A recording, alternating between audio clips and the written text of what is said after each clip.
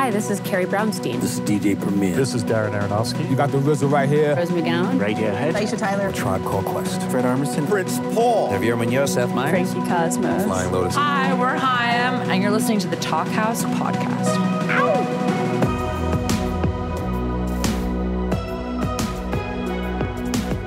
Hello and welcome to the Talkhouse Podcast. I'm Josh Modell. And if you had told 15 year old me I'd be doing a podcast with today's two guests, I would have asked you what the hell a podcast was before getting truly excited.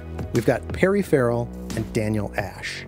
Now, Perry Farrell almost certainly needs no introduction, but here goes. He first found fame as the singer for Jane's Addiction, a band that bridged the gap between glammy metal and some burgeoning thing called alternative rock, and he's pretty largely responsible for the latter becoming a thing. The end of Jane's Addiction in the early 1990s was the beginning of Farrell's other big creation, the Lollapalooza Festival, which continues to this day. The US version was just this past weekend in Chicago, as a matter of fact. Now, Farrell has played with other people over the years, and the legendary Jane's Addiction has reformed in various incarnations as well. The big news for 2024 is that the band's original lineup has reformed both to play shows and even to record some new music. Check out a little bit of Jane's Addiction's brand new song, Imminent Redemption.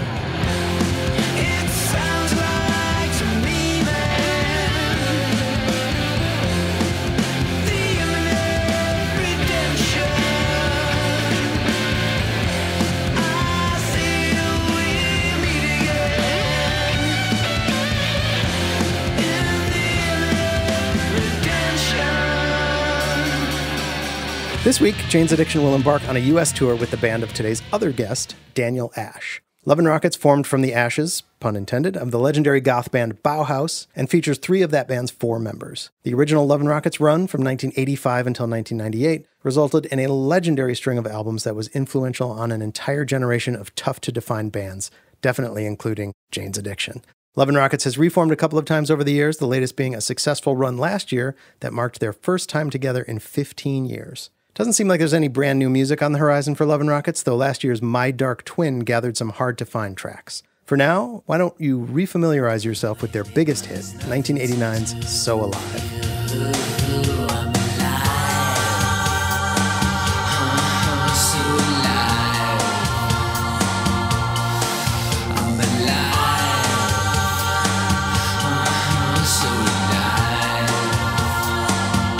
In advance of their co headlining tour, Farrell and Ash talked about how they keep fit enough to rock this hard after all these years, which includes taking a day off between each show and utilizing superfoods instead of hard drugs. Ash talks about how three of the biggest songs of his career were written and recorded in one day each, as well as how Ziggy Stardust changed his life forever. They also chat about the joy of collaboration and the potential up and downsides of AI. Enjoy.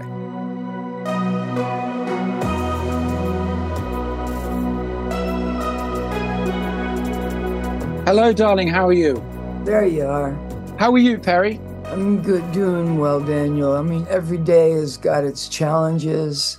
Yeah, you've been a busy boy, big time. I guess so. Uh, to me, it's it's nothing. It's just a typical day, just working away. Yeah, but I mean, all those gigs you've done in Europe and everything. Uh, How many gigs did you actually have you done? I mean, well, you haven't really stopped for a couple of years now, right? You know, it was original, all original members. I think it was a seven or eight week. Right. My voice started to stress at the at the very end. Does yours ever stress? Uh, yeah. If you do three in a row, Right. it's fucked. Terrible. After three, it's screwed. Yeah. It really is. Two is okay. I say no. I say no three. No, Right. no. It, We've got it really perfect this tour. Well, this one, this is what I'm. I'm personally. I thank you for this, and it's fantastic. We've never done this before in any band I've been in, three bands or solo or anything. One day on, one day off. One Yeah. day on, it's Yeah. fantastic. Oh my God, you're going to be able to recharge your batteries on that off day. It makes so much difference. I've never done a tour like that. So that is brilliant. Was that your idea Yeah. to do the one up? Yeah. It, well, it's fucking perfect. Thank Well, you for that. Oh, you, you're very, very welcome. But it comes from the theory that nobody can put their heart out and leave that heart out on the stage and be expected to go and do that again the very next day and then the very next day. I want to give the greatest show. Like every show is life and death for me. I'm exactly the same. Yeah. Um, if I don't get uptight before a gig, something's wrong and the show's going to be shit. I like to get uptight, wired. There's been the odd time when I've been com- very, very rarely, very rarely. I can pretty much count it on one hand in the whole time I've been doing this, where I've been complacent and it's a shit gig. It's just you make mistakes because you don't care. And, and I really hate that feeling. So I completely relate. It's great to feel that nervousness before a gig and not take anything for granted. And as you know, when you're on there, you're on another planet. It's you're not on planet Earth. You're floating about four inches off the ground mentally. It, it's yeah. such a different feeling from anything. Yeah, I think that once we start to really get into the music, there's a music zone. You know, it's yeah. it's not quite tangible because we can't see it, but it's absolutely there. If we could see wavelength, if we can see Jah, oh yeah, it, it would be there, and there would be, and we would see the angels that would want to come to the show too. Surreal. You can't do that night after night. You need to have a day for the voice. Yeah, I agree. You need a voice, and you've got to stay on top of the voice You've got to keep the temperatures right.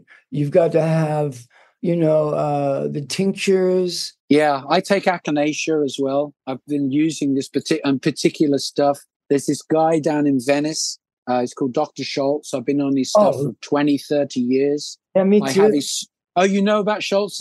Yeah. I do his superfood every day. And the odd oh. day that I don't do it, I feel my age. And when I do it, I feel like 25 like most days. It's incredible. I haven't had any of his in a while. I had I bought like every tincture. Yeah. And I have them in a box, but this is a terrible story. But like in the age of in the age of crack, I was always in looking for pipes, pipettes, you know? So right. I would break I'd break his pipette. And I guess that's that's why I stopped using uh, his stuff. But now that that's behind me, I'm going to go out and get a case for the road. Well, if you run out, Perry, I've got, I'm bringing two pots of the superfood ultra. I've got the echinacea. Uh, I have all the other stuff, the internal stuff that I use. I'm like a little Dr. Schultz chemist guy on the road. So if, you know, it's a bit of a joke about me. They call me Dr. Ash because I've got all his stuff and I've been on it really? for 20, 30 years. The Superfood Ultra is what you want now. That's got everything. Ultra. And then you want to get the uh, Echinacea Plus, which again stops you getting a cold big time. Yeah. And the other one is I take the Formula One, which uh, makes you regular, let's call it, big time. I've been on that stuff. It's like this is a this is funny that we're talking about this. You're like a young man. You know, like once the heavy drugs, the hard drugs were out of my life, I started to get into health and I so enjoy working on my health. So here's something I want to turn you on to. It's called Lipus. There's like nine different colored boxes, and then each one is different. This glutathione could be for um, intestinal, could be, but yeah, man, ritual. Wake up, live and die for the message live and die to get up there and turn the world on to the music that they they've been waiting for. They grew up to it. It changed yeah, who they were. That's who we are. Well, I noticed that this particular tour, um, I know it was successful in Europe, but somebody's t- a few people have told me that a lot of tours this summer are bombing yes internationally but this one isn't right we are happening. Yeah. It's like people want to see us it's fantastic. Yeah. Uh, and as you know we're getting added up to nine more gigs at the end. It's fantastic the combination of us guys love and rockets and jane's addiction together. People want to see this after all these years. It's like this tour is selling really well Thank you for the invite, big time. Thank you. It's more than my pleasure. You're one of my favorite musicians. You're still alive and well and doing your thing. And I think it's because we are authentic and we're genuine in everything we do musically. You know, my son, I have two boys, and uh, both are musicians, artists. Sometimes, you know, we'll listen to music together. And I'll get very angry at, at, something. My son will say, Relax, Dad. They're not really musicians. I said, Well, what are they? And he, he would say, They're products. Yeah. To feel a little better. And I got it. My son's super wise. Like, he's one of those guys that when he was a baby, he looked to me like he was going to be able to like tell me deep things once he became a man and it's really starting to happen it's very true in our industry. Since the advent of the home computer and the cell phone basically the world wide web began in 1991 what it's being used for sometimes is amazing and sometimes it is horrific. Yeah i agree. But it's kind of easy to fool the public. I have to say, you, you get a tween and you get a tween to kind of have a crush on somebody that might not have that much talent, but they might have a big booty or they might, you know. Yeah, but if you notice, that stuff is limited. When somebody does have success, it's like I even say with somebody like Britney Spears, she has to have the talent to last as long as she has lasted mm-hmm. because you get the difference between a one hit wonder they don't last long. You can tell at the end of the day, you can only fake it for so long. It always comes out in the wash in the end. But there are certain so called, let's say, you know, the Taylor Swifts of this world, they have real talent. Otherwise, they wouldn't be there for so long. They wouldn't be able to handle it. And they would, with her, for example, I do respect her because she writes her own stuff. And you can tell I got great respect for that. Yeah. That sort of an artist to be super commercially successful like that. But to me, she has real integrity because she does write that stuff. And that tour that she's done, it's incredible. Right. You know, a million, a billion plus dollars. But apart from the money side of it, the fact that she's actually kept her head on straight and is delivering every night for this yeah. amount of time, I've got a huge respect for that. Right. Even with the technology you can only bluff it for so long. The real stuff will always shine through. And that actually comes back to us because we are the real deal. You know, that is the difference. Yeah. We try to book Lollapalooza every year. We're always looking for who is the one this year or who are the who are the handful this year that have changed the world as yeah. you know as we live and and fall asleep wake up the world is moving around. We're looking for musicians. And it's easy with the advent of computerization to make someone who's very average marketable or sellable. I know, but they've still got to play live. If they don't cut that's it live, our, that's the that, proof. That's why we're doing well. Exactly. Uh, you got People it. have heard. Yeah. You have to see them. Somebody told me just the other week, they said the difference between you guys, Jane's Addiction, etc., is you can actually go out there and play gigs. And you can actually, you're not miming, you're actually playing gigs. The new generation, a lot of them apparently don't do that because they don't have to, because they can press a keyboard pad. Right. But it's becoming rarer and rarer to actually be able to go out and play. And they also don't understand something, you know, it's it's a spiritual thing. You need to suffer to experience suffering so you can write a song about suffering so that the person who's listening to it and suffering can relate. Yeah, exactly. I used to get people coming up to me way back in the 80s, and it, was funny enough, it was on a Tones on Tail tour, and this girl came up to me in the street after the show and she said, I just want to thank you from the bottom of my heart to stop you stopped me committing suicide three times wow. and it was a shock to me at the time i was like what and you know and i sort of was trying to laugh it off wow. but ah. i understand what she was saying because what it was at the end of the day was she related to the music Tones on Tail's music so much that she felt she wasn't on her own yeah. and before that she always felt on her own and when you're a teenager and when you're right. a, in your early 20s Right. I mean, I still feel pretty alien now. I'm, I'm a solitary person. I'm not very social. Nor am I. But then it's like, I know this was the same with you, with Ziggy Stardust, David Bowie. When that came out, when I saw that on the TV at 15 years old, he's doing Starman. He puts his arm about Mick Ronson. I know it's an old story. That to me is like, oh my God, that's that's my sort of person. That's yeah. where I want to live. Yeah. I want to live in that world, not the world yeah. with all the um, the jocks at school. I wanted nothing to do with that, and I wanted to live in this fantasy land with these androgynous people, and it, it's never left me. And I know that's exactly the same with you because I've read a few things about you talked about that same thing specifically with the whole Ziggy Stardust thing. So it's like a ticket. It's like the look of an electric guitar uh, the look of great clothes, you know, a cat suit, it takes you out of the mundane and it takes you to this land where your soul, your heart and soul want to live. It takes you away from the mundane.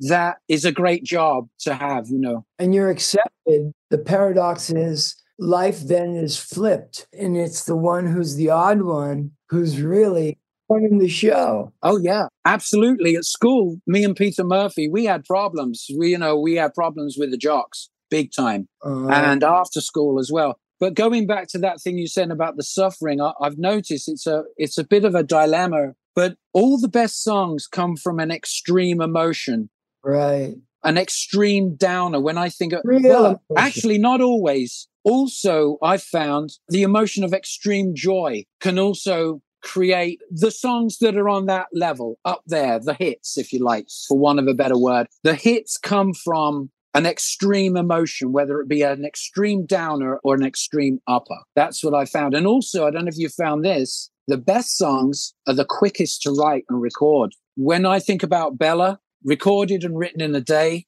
Go, recorded and written in a day, So Alive, recorded and written in a day. Those three just come to the top of my head. Recorded and written in 24 hours. Yeah. I don't know if you guys have found the same thing. Well, you know, I like to say there's a million ways to write a great song. Sometimes it can come out of somebody else's mouth. Yeah. You're at, in a circle of people, you're having, you're all talking, and somebody else says a phrase, Yeah, yeah, and you and you find the phrase, you just go, that's got to be a song. yeah. When I talk to my son about songwriting, so my son is now 22, and um, he just he doesn't have a lot of um, he's not sure of himself But he, he hasn't had that much life experience yet. for one, but he doesn't want any help from me. Like we've had conversations where he said, you know, I, sometimes I think that I, I was cursed to become your son, and I and I asked him why. He was "Pe- all people want to talk about half the time is you, and I, you know, what I say to him is, you know what, I I completely can relate. I know how it must feel, but just understand this.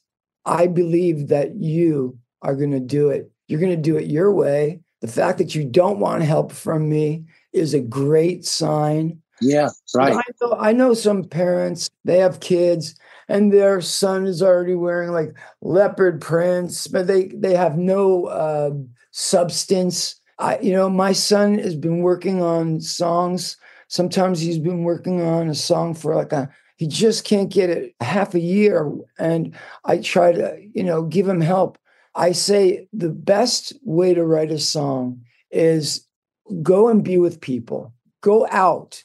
Danger is a great addition to any song. People love being thrilled and in danger, and it makes them laugh. And when they survive it, it makes them feel Yeah, yeah, yeah. you can write a song a million ways. It could start with the phrase, or it could start with a melody that you've got, and then you're taking a phrase. It's usually one of those two things. But the other thing that I found, it often helps if you can have a collaborator as well, because sometimes I've sat down in a room and tried to write something and I've got drunk and I've got stoned or whatever to try and get open those things in your head. I mean, I still, you know, use use alcohol for that because it opens everything up. But when you have somebody else to bounce off, Right. you know, somebody on bass, somebody suggesting Right. something, so a drummer, somebody banging on some books in the room, just something to get away from just yourself.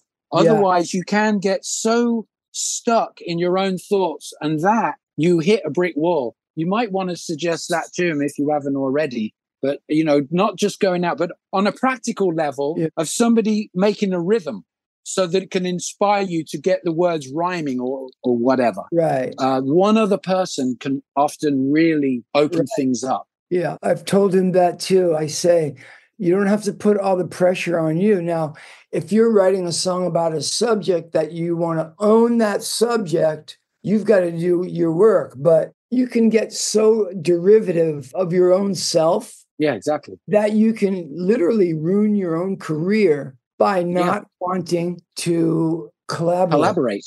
Absolutely. I, I won't Yeah. name names, but I will go so far as to say my favorite musicians start to believe they are, you know, they are the one.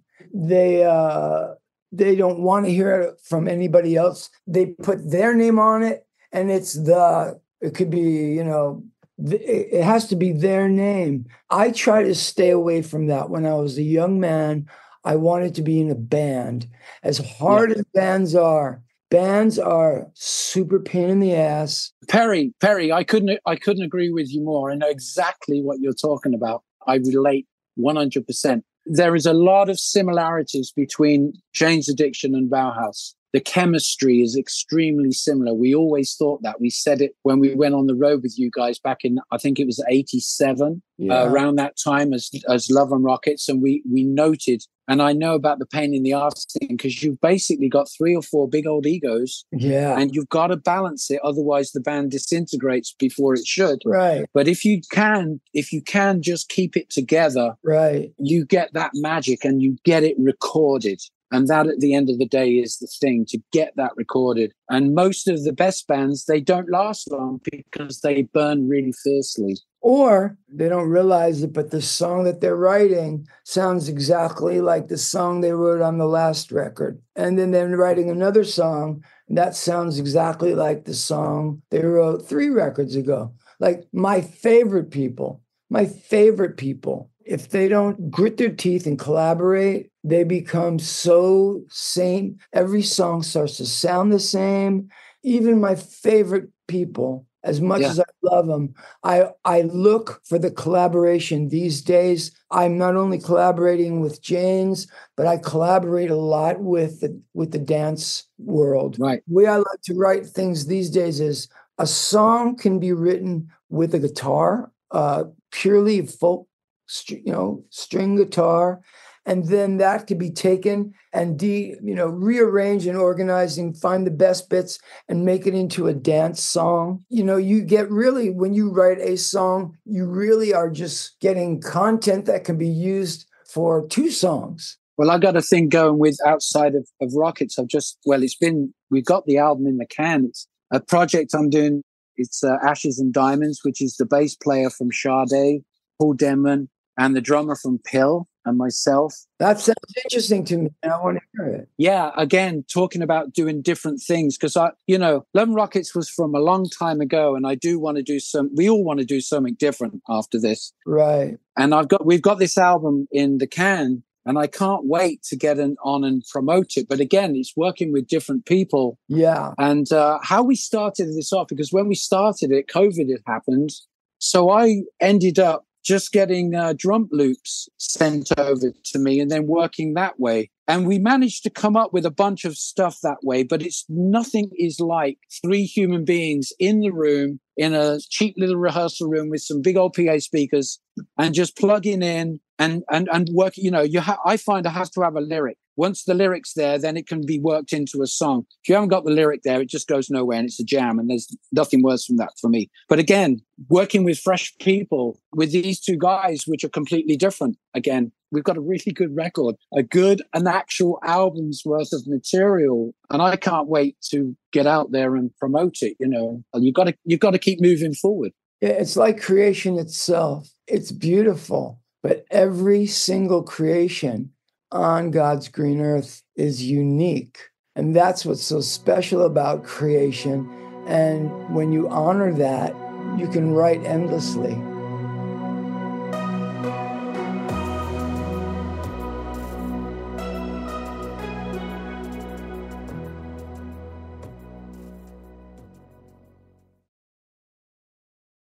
I'm always obsessed with trying to sound different all the time. Like I noticed that with Rockets, each of the albums did sound different one from the other. We do essentially an electric or an acoustic album, but there does there comes a time sometimes I think when I've found this where but I just work in spurts. I have a sort of a really creative spurt for a year and then I'll do nothing for 18 months.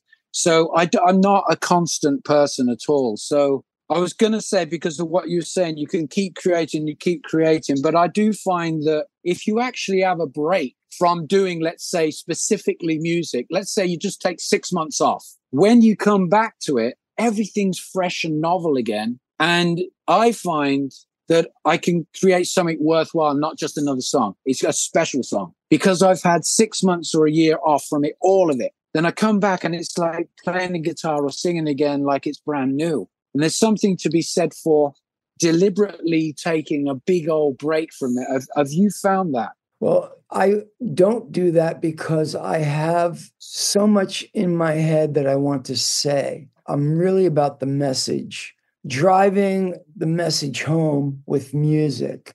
But I have not done art. I have not done art. So this tour, I'm bringing art supplies out on the road with me and I'm Right. doing art again. Right. And I'm excited about it. It's really funny life. Somebody can say something that you you know you hadn't thought of before and completely change your life. You get an idea. So I have lots of art books, lots of poetry books, lots of books about mysticism. I, I look down, I'll read something about of the mystic, and the way the words roll off the tongue becomes my rhythm. So I work from it differently. I I used to sometimes use an acoustic guitar. I I uh, stopped doing it because there are people that are better at it than I am. I only want the I want to collaborate with the best people. Like I would love to collaborate with you. I think we could do an incredible job. And if we got somebody from the dance world, that would be really, really interesting. But we could start it out as a four piece or a three piece and then turn it into a dance song Or a two piece, or a two piece. or a two piece. Because I, I think me and you could do some really strange and wonderful stuff in a studio. Right. I don't. You, you were you using that pla Johnny Depp's place? I think you. I, Yeah. I know you were actually because you were working with uh, Robert. Remember Yeah. the English guy? He's Yes. great. Because we finished the Ashes and Diamonds album at his place. He's terrific. Yeah. But uh, yeah, that could be something in the future. and even different producers too produce different effects. I just feel that there's a message that has to come out. In our generation, I find our generation is going to change the world forever. I, I believe it's the beginning of a great time for mankind. I think that people that hate some of these low frequency thoughts that are on earth will soon disappear. We won't even be thinking them anymore. There is a sense out there right now that that is beginning to really happen. Even the so-called, let's call them jocks or whatever you want, Are even cooler. they're opening up to the idea of Yes. UFOs, extraterrestrials, Job. other forms of intelligence, even the lowest common denominator are becoming open to that. I think technically we are right now in the age of Aquarius, which is the age of great turmoil and change, like a real shift. I think it's actually physically actually happening now. We are just touching on the age of Aquarius. We're coming out of Pisces, from what I know, into Aquarius, which again is great turmoil initially and change, but then it lasts for a thousand. ye- Then it's supposed to be a type of euphoric state that lasts a thousand years. I'm sure you've read about this as well, Yeah. and we it feels like this is going on right now. Yes. And I think just having the just having the internet because now people can't hide. Exactly. Information is there, right there. If somebody does something Right. bad, within five minutes, every the whole world knows about it. Right. So But now- nobody can hide anymore. Right. So the next thing to do is figure a way that we can make lies easy to identify. I'm not sure how to do it yet. I, I think one way to do it is have the have almost your own internet that is a collective of highly highly minded thinkers, artists, musicians, That is happening as we speak. What is that thing? Is it called TED?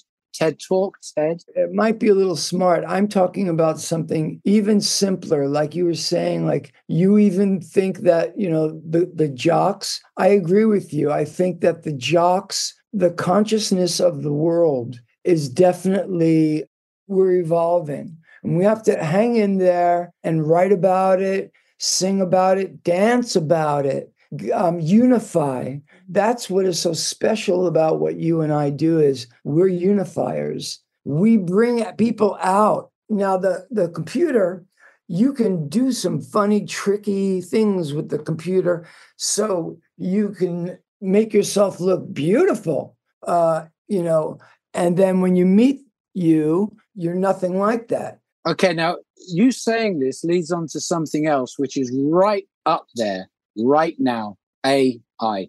What the fuck is going to happen with AI? This is this is this is changing everything. I was going to embrace, or I want to embrace AI with this new project I'm doing, Ashes and Diamonds. I don't want to just be another three piece rock band. I want to embrace AI so I can take it visually to another place.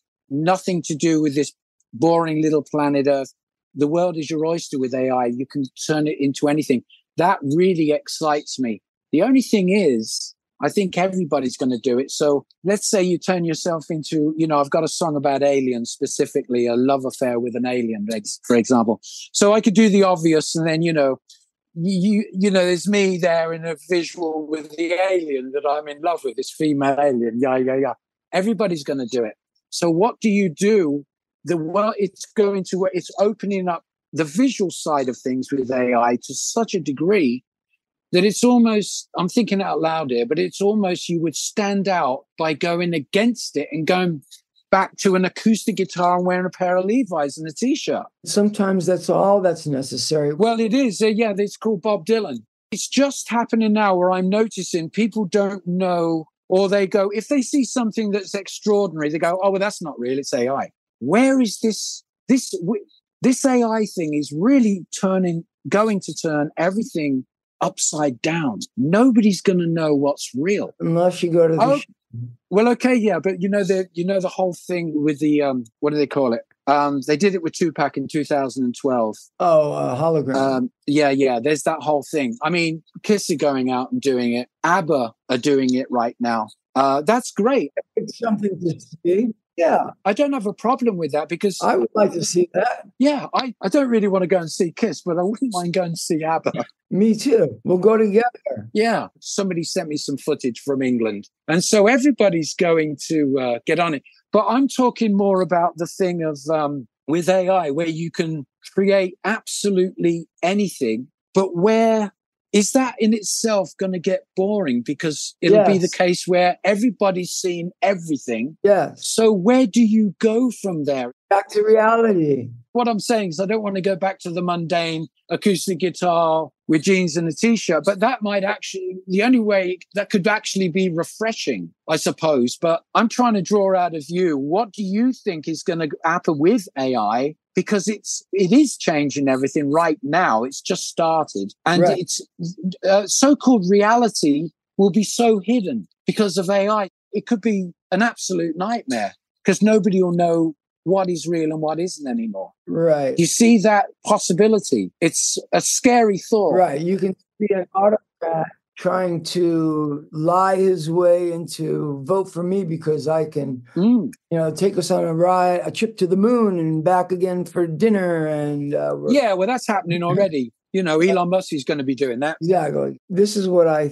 You asked me the question, so I'll, I'll yeah. give you the answer. I think that you cannot beat nature. Um, it, I don't mind. I'm not afraid of AI. Um, when I see AI artwork, I find it interesting. I find real artists more interesting because, like uh, I was telling Etty, I'm going to start drawing again on this tour because I, I stopped when the industry, you had to know how to work on a computer to be an artist. And it kind of limited me. And she said, Are you crazy? She said, People want to see what you've drawn. That's a real talent. To have a machine driving something, it's a machine driving something. It's got a, it's yeah. got value. Like like I like dance music. I like it a lot. You know when I liked it most when you had to be really dexterous, ambidextrous with your hands and be able to beat match with two records. Yeah. Right. I, I found that so interesting. And the sounds that I was hearing, I had never heard before on, you know, when there was just like 1970s great rock. Uh, there was the, these new sounds now that you can make with a computer. I found some of them, especially the lower frequency ones, cool. So I want to I want to work with them. You know what I want to do? My life's dream is to throw a party in the Holy Land. out in the desert where we could have holograms in the air if we want. They're not real, but we can make aliens dancing, doing tango, and we can have all types of art. I I'm not afraid of it because I believe that I this sounds silly, but I, I'm just gonna say I just believe Jah loves his children. Jah loves us. Everything he introduces, we can handle. The interesting part is how are we going to handle it? I want to embrace it with this project I'm doing with this band, Ashes and Diamonds. I want to embrace it. I was just putting out there the question though that well, being human when you get to when you get to the stage where you do everything everything everything there are no limits. I suppose as humans we'll work it out. But where do yeah. you go when there are no no limits? That in itself i think can be dangerous to your psyche.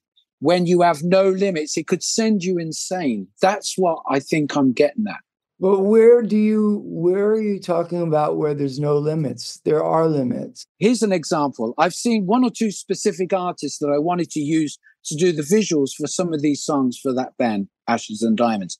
Then I saw their stuff and I went, God, that's amazing. That's amazing. That's amazing. But after two weeks, I never wanted to look at it again. So seen that, done that. Did these guys? They did AI to, to yes, yes. Art? That's what I'm saying. It was specific. It was one particular okay, guy. Now you gave yourself the answer that I would give. I would get a little bored of looking at something that I know was generated over and over because my favorite artists, I felt their pain. And a computer will never, ever feel the pain the way that I felt the pain. That that computer will never give the love that I want. I think computers have their place as an example, just right off the top of my head, what about uh, Blue Monday by New Order? Computer generated, mixed in with, well, it's basically the beginnings, just like Donna Summer. Hybrid. The beginnings of computer generated music, but it works wonderfully. Yeah, but it's hybrid. Those precise beats work and they are computer generated. Yeah, but you also have the real singer. Actually, yeah, I take it back. You're right. You that's the big, big difference. You have either Donna Summer or you have the you know New Order real singer. Yeah, you got to take it for what it's worth. Yeah, you take it for what it's worth. What is it worth? It's the difference between letting it take you over and just using it to your advantage, I guess. It's just that I found that when I first saw this guy's computer generated imagery, it was mostly of humans and aliens mixed together. I was blown away by it. But then after seeing it for two weeks, I was blasé about it. Because the artificiality yeah. uh, you know there it is i think that's what you're saying. It's not got that human it hasn't got the grit of being organic of being human. That's the difference. That's why i've always had in our shows live dancers. Yeah. That's why i always when we do you know think of production i always think yes you know visual projection but I, you know, give me dancers too. It all has its place. Yeah. But if you're going to just give me a, a song and that you auto tuned, I might like it for uh, the day, or if it, it if if that. I like real drama. I'm not afraid of it. I I seek it out. I love the imperfection of Joy Division his singing he makes so, he's out of tune so many times. Yeah it doesn't matter. It doesn't matter like at all. my favorite parts because yeah yeah i get it. going out of tune because he can't handle it. He yeah i get it. it's real passion there. So so that's something so there, there it is. We're coming to a conclusion. I get it what we like because we are flesh and blood because we yes. are organic is yes. we like and appreciate the imperfections. Yeah. They're the things that touch your soul. that's who we that's really why hopefully the computers won't take over because again with this ai thing it's something that i am fearful of. Um, it does come up with me that you know they're talking about they can make computers now that are much more uh, in an academic sense in more, more intelligent than hu- humans and they can take us over that I think um, is a concern. There will be a time, very if not already, yeah. where they can take over the show. Yeah, now, think about that because I, I tell you what, I used to have this fantasy when I was a kid And it was almost like a premonition. When I was 10 or 12, I, 15, I used to have this thing. Whereas I thought that computers then, um, robots, would take over the world and I'd be one of those guys in the underground on a motorcycle with a submachine gun, shooting and killing all the robots and going, fuck you, let's get back to nature. I used to, I had this premonition back then when I was a kid that I'd be one of those guys living in a cave, reacting against the perfection of the computer, the whole 1984 thing as well. Okay, so, So what I suppose I'm asking and, and saying to you is that's something with AI that I think Yeah. is of concern because they could take over. there is a chance that somebody could make something called uh, the Supercomputer. bomb, the atomic bomb. Well, that yeah. Look what happened there. There, we could we could be destroying ourselves at any moment. I know. There it is. But I don't concern myself to the degree I love the earth so much, and I love the, the people and the animals and and the oranges that are growing on my tree. I love them more than I a, a, a computer could never give me. I'm in complete agreement with Sound of running water, running water. I love. I I have a yeah. running water going all day just outside so that I can stay peaceful. No, Yeah.